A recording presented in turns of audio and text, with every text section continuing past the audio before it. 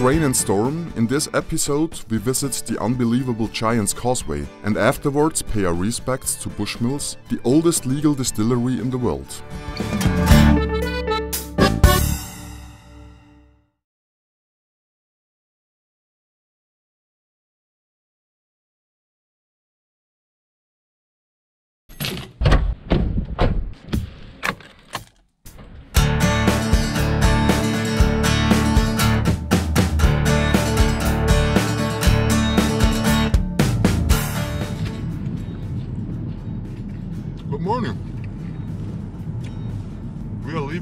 The Portrush town prison house, prison house, and we are heading to the Giant's Causeway.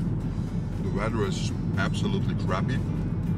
It's raining and it's stormy, and I'm afraid I can't fly the drone. But you know,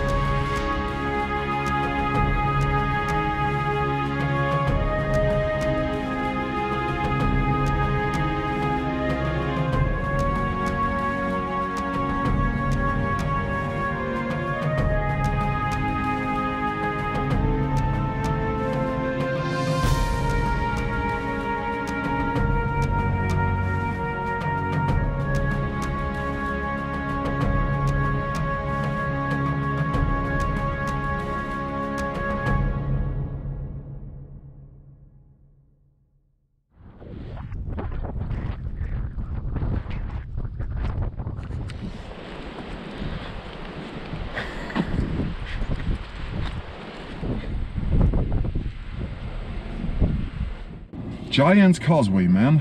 What a great place to be. Gorgeous. And it was good to us too. It kind of cleared up when we arrived and it totally crapped over us when we left. But due to the heavy winds, I couldn't fly my drone. Actually, I did try, but all of a sudden a guy appeared and said, No drones, guys! I have no idea. I didn't even put my bag down, how he knew. But anyways, we're heading to Bushmills now, the oldest distillery in the world.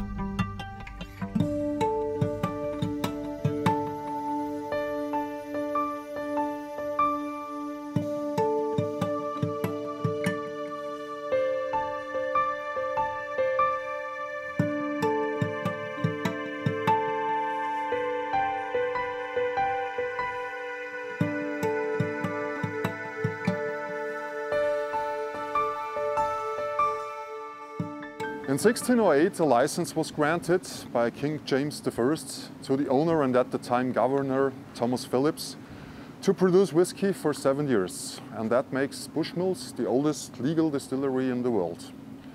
It wasn't in operation the whole time. It had to suffer with periods of closure and even burned to the ground in 1880. After a tax on malted grain was established by the English Empire, Bushmill stuck to its guns, paid the increase to keep up its consistency, and that's how they kept it until today. Bushmills triple distills and chill filters, its main products that are as follows. Bushmills Original, 55% single malt and 45% grain whiskey, produced in Midleton. Black Bush, 80% single malt, 20% grain. And Black Bush single malt, 10, 16 or 21 years old.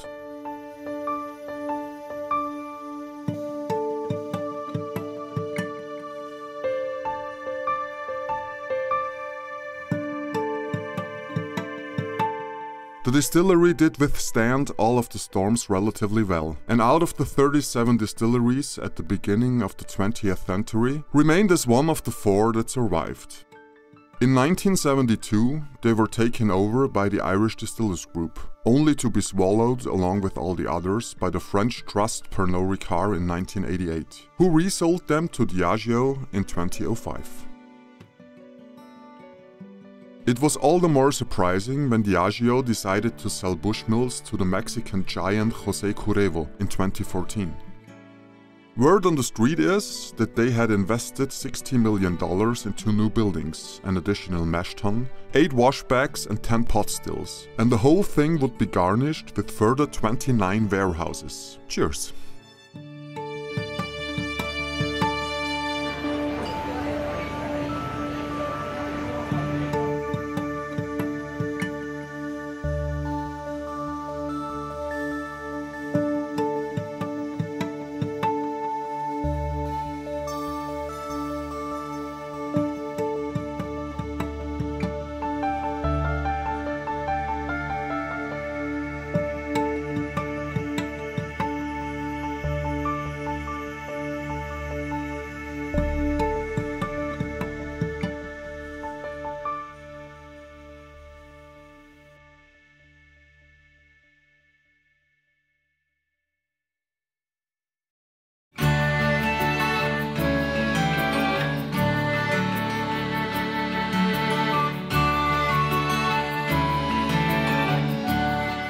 Having enjoyed the really interesting tour through the venerable Old Bushmills distillery as well as the subsequent tasting, we set out for the longest stage of our journey, the 335 kilometers to Galway along the west coast of Ireland, for which our navigation system calculated a duration of almost 5 hours.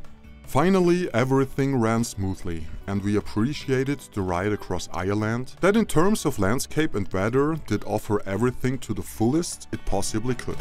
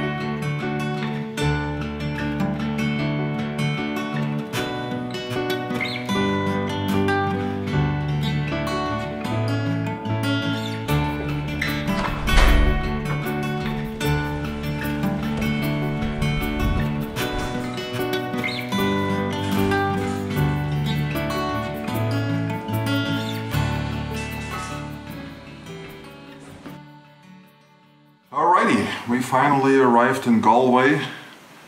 Took us four hours to get here, but Mr. Smiff drove like a real hero.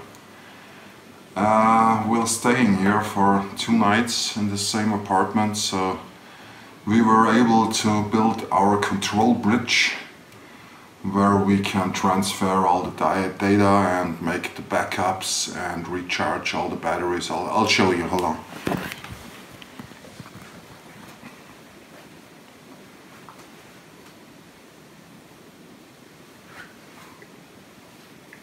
Next stop is getting something to eat and then we'll regather in the apartment, have a couple of beers and call it a day.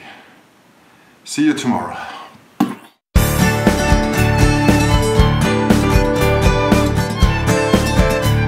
No less than three distilleries are on the next episode's agenda Kilbeggan, Tullamore, and Dingle. And we stumble upon one main difference between independent distilleries and major companies.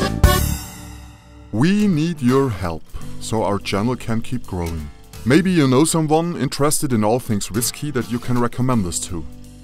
Check out our playlist Vlogs in English. Each click and every minute playtime does help. And we do enjoy each and every comment, so please feel free. Please take the chance to subscribe to the channel and hit the little bell, so you will be notified whenever something's going on. It's all free. Thank you.